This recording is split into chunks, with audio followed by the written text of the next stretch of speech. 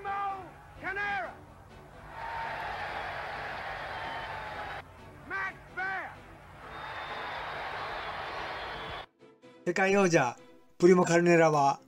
205センチ120キロの巨大な体格で動くアルプスと呼ばれ後にプロレスラーに転向いたしました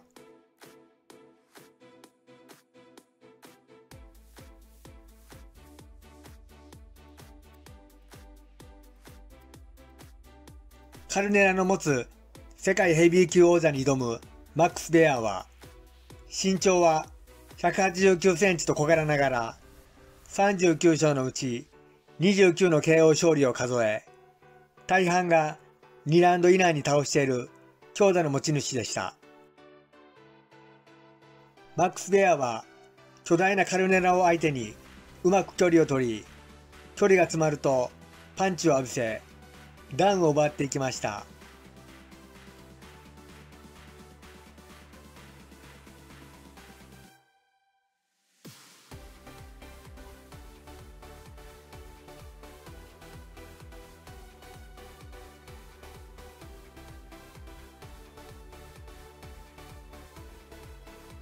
小柄なマックス・ベアは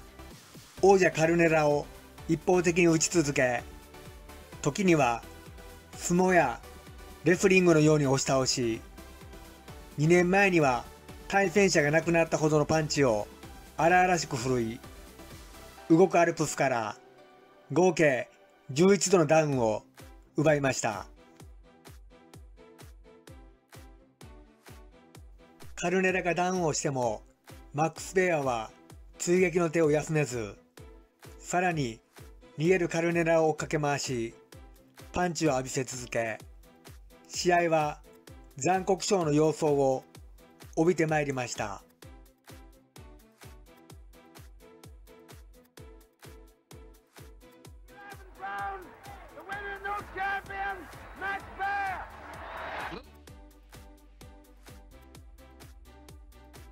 マックス・ベアはカルネラとの試合の前に元世界王者のマックス・シュメリングと戦いました。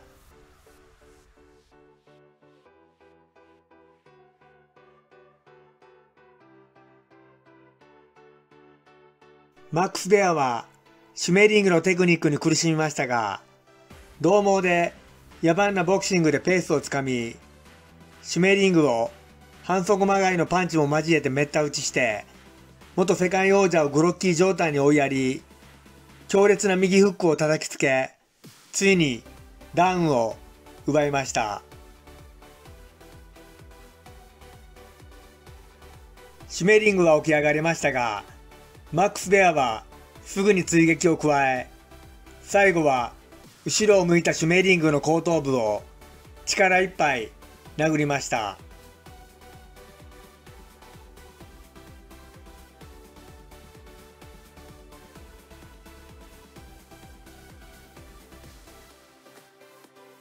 トニー・リストンは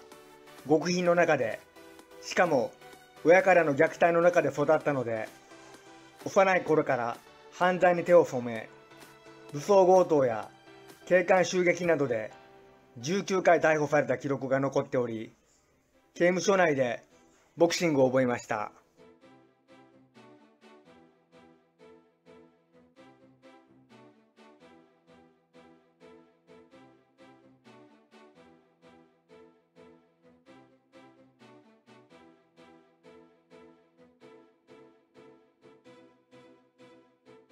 リストンは広い肩幅と筋肉の塊を持っており38センチの拳周りと213センチの驚異的なリーチから繰り出されるパンチはまるでハンマーで殴られるような衝撃だったと言われ彼のトレーナーはリストンをリングの怪物殺人兵器と呼んだのです。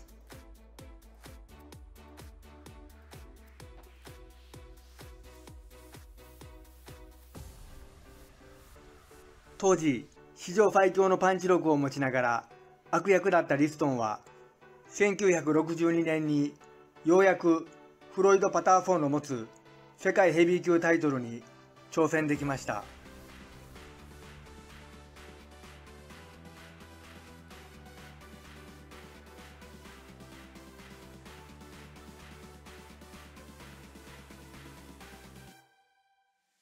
世界タイトルに挑戦したリストン。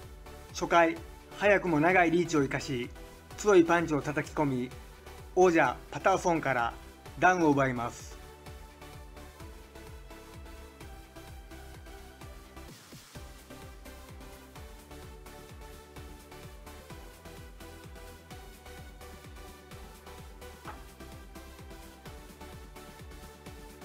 リングの怪物殺人兵器と呼ばれたリストンは世界王者になり10ヶ月後の再戦でも全王者を初回にめった打ちし次々とダウンを奪っていき130秒で元世界王者をノックアウトしました。リストンはその後アリに敗れて世界王座から陥落しスウェーデンで4試合を行いすべて対戦相手を KO しアメリカに戻っての試合でしたが序盤から逃げ腰のマクマリーを捕まえることができず空振りが目立ちましたが第4ラウンドにマクマリーを追い込んで左右のフックをヒットさせ最後は豪快な右アッパーで場外に叩き出しました。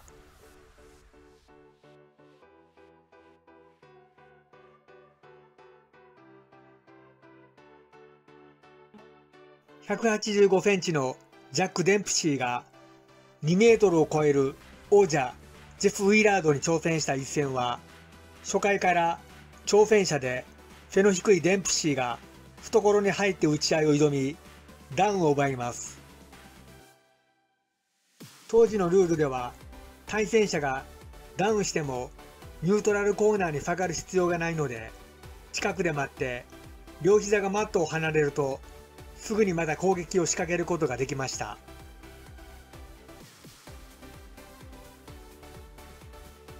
それでデンプシーは倒れているウィラードの近くで待ち構え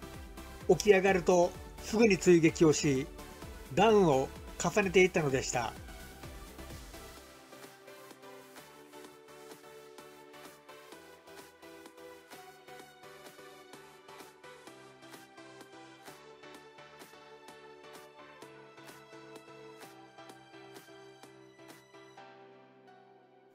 デンプシーは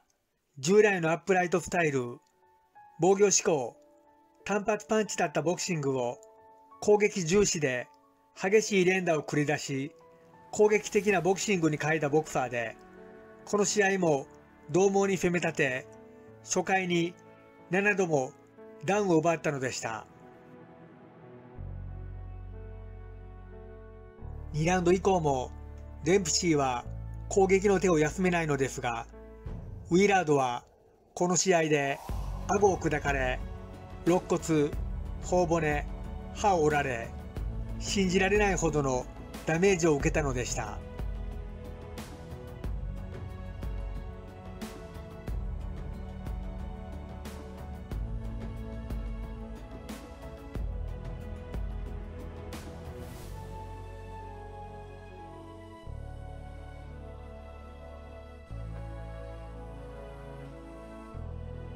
1923年9月、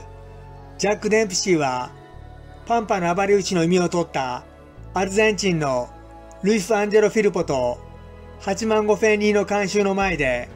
戦いました。アルゼンチンや近隣諸国でタイトルを総なめにしたフィルポはアメリカに乗り込んできましたが、ジャック・デンプシーはあまりにも獰猛で初回からダウンを奪いまくっていきました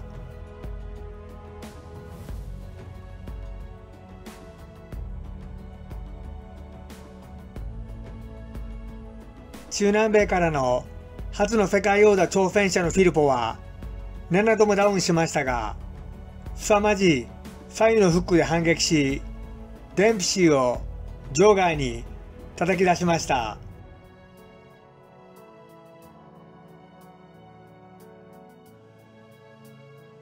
しかし、強靭なデンプシーは、場外から戦場に戻って逆襲し、マナッサの屠殺人は、中南米からの刺客を失神させました。